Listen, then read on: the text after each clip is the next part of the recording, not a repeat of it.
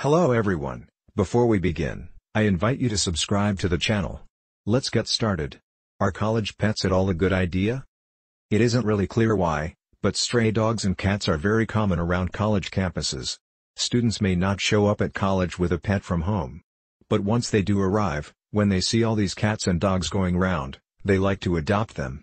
These animals become college pets, pets for the time that the students are in college.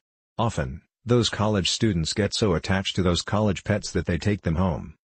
Often, college pets don't become house pets after those students graduate.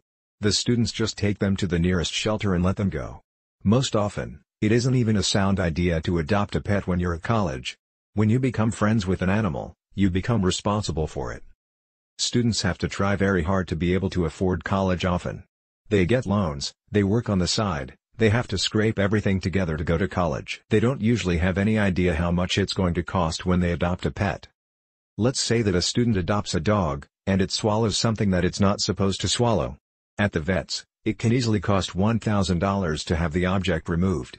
When you add up everything that you have to spend on dog food and add the vet bills and everything else, those costs can easily go up to $5,000 a year. Where's a student supposed to go for that kind of money? Not to mention, most colleges don't allow pets in the dorm. When students adopt college pets, they do the on the sly. The few schools that do allow college pets have strict rules on the subject. Because pets can induce allergies in people. They won't put a dorm member with a pet in a room where the other dorm members might be allergic.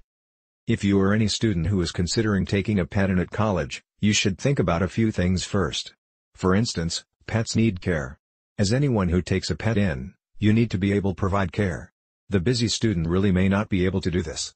If a pet is an absolute necessity, a cat is always better than a dog because they need less care. They can be left alone for a long period of time every day. Any student who thinks about adopting a pet at college should carefully total up everything that a year of care might cost. If it's a young puppy, it's going to need even more care and attention and money.